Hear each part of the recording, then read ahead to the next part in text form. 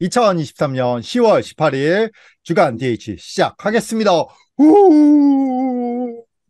오늘 고정이신 조은희 선생님께서 급한 일이 있어서 잠시 못 나옵니다. 예, 어, 떠나신 게 아니니까 오해하지 마세요. DH 뉴스 시작하겠습니다. 어, 채용부터 있네요. 홍익대 영어 영문학과에서 디지털 인문학과를 뽑네요. 이거 말고 하나 더 있죠? 건대에서도 영어 영문학과에서 예, 디지털 인문학 강의 가능자를 뽑고 있죠. 요즘 영어 영문학과가 왜 이러죠? 그 디지털 인문학 아니더라도 위에 보면 이제 뭐 전산 언어학 관련한 그런 네. 예, 실험 언어학 쪽 있고 영어학 통사론 의미론도 있는데 영어 영문학과에서 디지털 인문학이라고 해서 디지털 인문학 개론, 영문학과 빅데이터, 데이터 스토리텔링, 데이터로 보는 영어 권 문화, 영어 분석과 컴퓨터라는 과목을 담당하게 되실 전임 교원을 홍대에서 뽑고 있네요. 음, 재밌네요. 세부 지원 자격은 영어 강의 가능자. 오! 아, 영어, 영어 영문과니까. 어, 이 정도는 해야죠. 영어 교수법 제외라고 하고 전산언어학이 가능하면 우대라는데 이걸 하려면 당연히 전산언어학이 필요하지 않을까요? 거의. 네. 근데 이렇게 그 영문과에서 세 명이나 뽑는 게 되게 네, 흥미로웠어요. 하고 동시에 세 명이. 네. 그렇네요. 음. 이번에 우르르 나가시나 보네요. 네. 그 다음에 건국대학교는 영미문학 그리고 디지털 인문학이네요. 여기 같은 경우는 영미문학이 큰 카테고리고 디지털 인문학 강의 가능자 무대로 네, 세팅이 되어 있네요. 어. 어쨌든 영어 영문학과 쪽에서 요즘 이래저래 힘을 많이 주고 있네요. 어, 재밌는 현상 같습니다. 자, 그 다음에 얘는 뭐죠? 어, recruiting인데 어떤 recruiting이죠? 어, 김병희 선생님 올리셨네? 네. 그 Programming Historian이라는 유명한 그 사이트 혹은 교육 그 노- 한번 들- 들어가 보시면 Programming Historian 그래서 이제 네 여기 보면 정말 좋은 교육 그 파이썬 코드도 있고 교육 프로그램 이제 쭉 정리가 돼 있거든요. e-book 형태로 해서 근데 여기서 어, 에디터를 모집한다 그래서 음, 에디터를 네, 이제 어, 어떤 사람들을 모집하고 어떤 그 봉사죠 봉사 사실은 여기 volunteer라고 돼 있어서 네 뭐 돈을 주고 그런 건 아니고 여기에 이제 어, 참여할 수 있는 걸로 들어가고 Programming Historian은 아마 디지털 인문학계에서 가장 좋은 교육 그 사례 중에 하나로 꼽히는 것 같아요. 그래서 거기 레슨 들어가면 아마 여러 가지 그 쭉 정리가 쫙 되어 있어요. 뭐, 어, 어떻게 코드를 다룰 것인가, 뭐 어떤 자료를 어떻게 다룰 것인가 이런 것들이 아마 이거를 에디터로 뽑히고 여기 안에 아마 글도 쓰고 어떤 글들 뭐 편집도 하고 그런 일들 같습니다. 어우, 쉽진 않겠네요. 제가 영어 능력자였으면 지원해 볼 만도 한데 영어가 약해서. 아마 그 Programming Historian의 뭐 주요한 편집자라고 하면 그거 자체로 아마 좋은 굉장히 좋은 경력이 되지 않을까. 네. 어, 누가 지원하시든 혹시 검수가 필요하시거나 뭐 조언이 필요하면 제가 도와드릴 수 있는데 제가 영어가 약해서. 네. 그 다음에 한림대학교에서도 이번 학기에 다시 한번 디지털 인문학 특강 시리즈가 시작이 되었네요. 어, 김, 서울대학교 김정환 선생님 특강은 이미 지나긴 했네요. 근데 그 뒤로도 이제 쭉 그 LG U 플러스 이경님, 그 당국대학교 김우정, 경희대학교 김진애, 네이버 하정우 선생님께서 각각 이제 어, 유튜브하고 줌으로 동시에 진행을 하죠. 예, 그리고 이미 놓친 것도 유튜브로 편집해서 올리니까 예, 그걸 보셔도 되고, 어, 뭐 좀 자기가 부끄럽다. 낯을 많이 가린다 하면은 유튜브로 해가지고 접속을 하시면 되고, 뭐 조금 낯을 덜 가린다라고 하면 줌으로 접속해서 활발하게 질문해 주셔도 될 것 같습니다. 어, 이번 주제는 좀 기술 쪽이 좀 더 가깝긴 하네요. 네. 그 다음에 국제 심포지움, 어, 카이스트, 김병수 선생님. 네네. 그, 제가 있는 카이스트 디지털 인문사회과학 센터에서 어, 국제 심포지움을 엽니다. 그래서 저희가 지금 계속 같이 펀딩을 받고 있는 과학, 아, 한국과학 창의재단, 그래서 이제 후원을 받아서 그 아시아의 주요한 DH 전문가들을 초대했습니다. 그래서 어, keynote로 국립 대, 아, 타이베이 대학, 대만대학교의 어, 아, 국립 짱지, 타이완 대학, 타이완 대학의 네, 그 디지털 인문학 센터장을 하고 계시는 성함을 읽어주세요.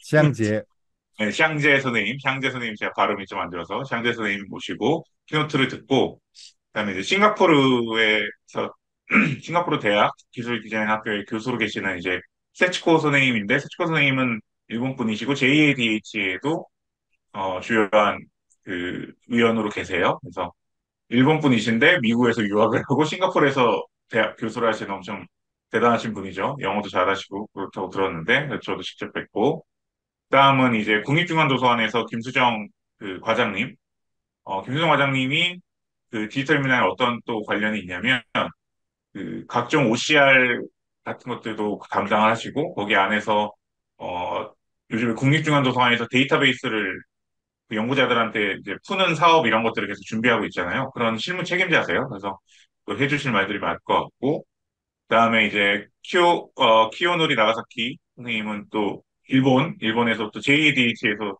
중요한 역할을 하고 계신 분이고 인문정보연구소 senior fellow라고 해요. senior fellow 같은 게 아마 그 연구 연구 기관에서 그뭐 한 부교수 이상급의 네 그죠 senior fellow 연구원으로 계시고 그다음 이제 마지막 성윤아 그 사서 그 Ann Arbor라고 하는 어, University of Michigan Ann Arbor에서 한국학 거기 한국학 센터가 있거든요. 그리고 거기 한국학 도서관이 따로 있어서 한국학 관련한 사서를 하고 계시고 그래서 한국학 자료에 대한 이야기를 아마 해주실 걸로 알고 있습니다. 그래서 내려가면 이제 10월 20일까지 신청을 받고 있는데 그 미리 신청을 하시면 20일까지 신청하시면 아마 뭐 20일 이후에는 아- 이후에도 아마 신청 받긴 할것 같아요. 20일까지 신청을 하면 그 저희가 소정의 기념품을 드립니다. 정확히 뭐가 오, 준비되어 있는지 잘 모르지만 저번에 그 상담소 때도 뭐 기념품을 드렸는데 하여튼 그 되게 굉장히 괜찮은 기념품을 다 준비해 놨고 가져갈 예정입니다. 네. 그래서 아, 오셔서 네. 그, 아 장소는 서울 강남역 인근에 있는 과학기술 컨벤션 센터고요. 강남역이랑 역삼역 사이에 있습니다. 네. 한번 오셔서 네트워킹도 하시고 그 아시아의 다른 국가들이 어떤 식으로 디지털 인문학 하고 있는지 대만이 특히 요즘에 되게 잘하고 있고 일본도 그 자료도 잘 모으고 이런 것들이 있는데 그런 것들을 좀 배울 수 있는 기회라고 생각하고 있습니다. 네, 부럽네요. 저는 가고 싶은데 다른 일정이 있어가지고 가지 아, 못하는데 사은품만 따로. 어, 그 어색한 웃음. 제가 어, 사실 쌍품이 뭔지 몰라요. 어, 뭐, 뭐, 하여튼 뭐 여러 개 준비가 돼 있는데 아마 네. 네, 어, 네, 알겠습니다. 다음은 그 영미문학연구회에서 고려대학교에서 이제 학술대회를 하는데 디지털 도전 이후에 영문학 연구와 교육이란 주제로 네, 학술대회를 하네요. 11월 4일 날. 어, 문과대학 132호 어디 익숙한 곳이죠? 유인태 선생님은 꼭 가보시겠네요, 여기? 네, 갈 예정입니다. 당일에 다른 특별한 일이 없어서. 네. 네. 어, 보시면 경북대학교 김희진 선생님도 있고 연세대학교 전보미 선생님, 서울과기대 조현희 선생님, 그다음에 서울대 김성우 선생님인데 어, 보시면은 요 위쪽은 좀 분석 쪽의 연구, 아래쪽은 비주얼라이제이션이나 활용적인 연구로 보이네요. 어쨌든 디지털 도전 이후에 영문학 연구와 교육이 어떻게 이루어지고 있는지에 대해서 좀 볼 수 있는 자리가 될 것 같고요. 좀, 좀 익숙한 이름들이 많이 있는데 예, 어, 재밌는 자리가 될 것 같습니다. 다만, 어, 저는 여기에 아는 분이 많은 입장에서 한마디를 드리면 좀 요즘 시대에 온라인으로 좀 해주세요. 아, 어, 저 같은 사람은 네, 토요일 날 오후 1시부터 5시까지 현장에 갈 수가 없습니다. 육아 때문에. 어, 온라인으로 해주시면 그래도 한쪽 귀로 이제 끄, 끼고 한쪽 다른 쪽으로 이제 애들하고 놀아줄 수 있는데 온라인으로 좀 해주세요. 이런 거죠. 네. 어. 네. 그 저희 쪽 세 명 중에서는 아마 유인태 선생님이 가셔가지고 구경하실 텐데 예, 구경하시고 예, 자료도 좀 받아주시고 음, 후속 얘기도 보겠습니다. 예, 후속 얘기도 해주셨으면 좋겠습니다. 애써 보겠습니다. 네. 어, 그 다음에 어, CFP입니다. 콜포 페이퍼인데 그 저희 제가 이사로 있는 인문 콘텐츠 학회에서 국- 어, 디지털 인문학과 인공지능이라는 제목으로 12월 1일부터 2일 사이에 국립 목포대학교에서 예, 학술 대회를 개최할 예정, 예정입니다. 지금은 이제 발표 논문을 수집하고 있는 단계인데요. 아, 이게 제가 이사로 있기 때문에 제가 조율을 했어야 되는데 어, 문제가 뭐냐면 어, 12월 2일 날 뭐가 있죠? 디지털 인문학 이- 대회가 있습니다. 네. 저희 한국 디지털 인문학 협의회 KADH의 2023년 학술 대회가 예정이 되어 있습니다. 어, 거의 대부분의 내용은 뽑아져 나와 있는 상태고요. 어디서 하죠, 저희는? 서울대학교에서 합니다. 네. 어, 그 기획을 맡고 계시는 이휘태 선생님입니다. 어, 근데, 어, 저는 여기도 아마 가야 될 것 같고요.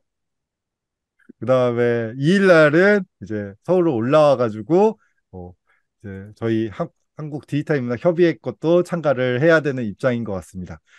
다음은 Digital Korean Study in Korean Studies? 아, 네. 김명진 선생님.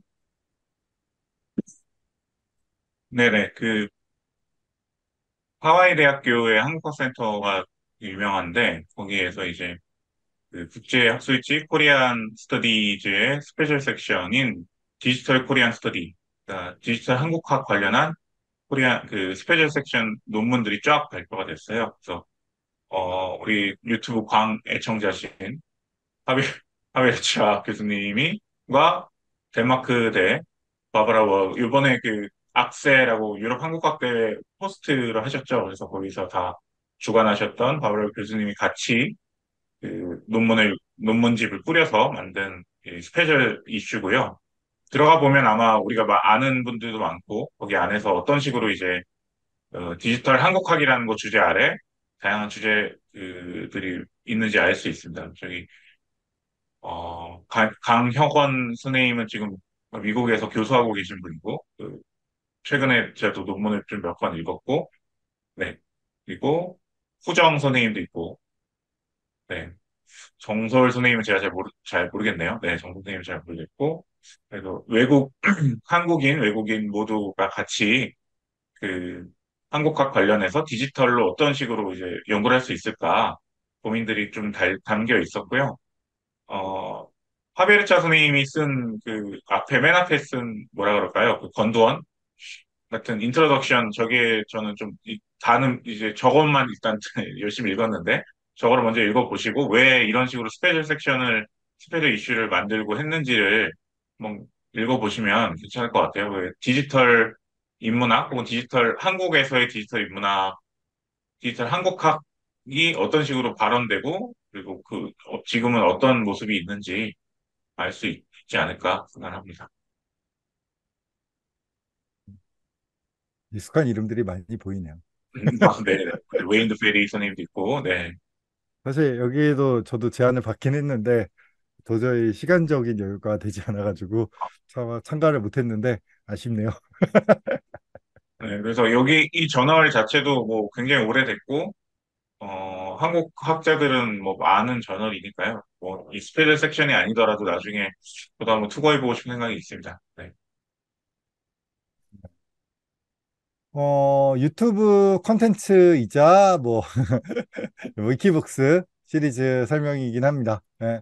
지금 이미 알고 계신 분들은 있겠지만 디지털 인문 데이터 분석 시리즈에 대한 영상 콘텐츠가 하나 두 개씩 저희 유튜브에 올라오고 있고요. 예. 예. 저희 유튜브 채널에 아시죠? 예, 여기에 열심히 네, 아이고 올라오고 있고 네.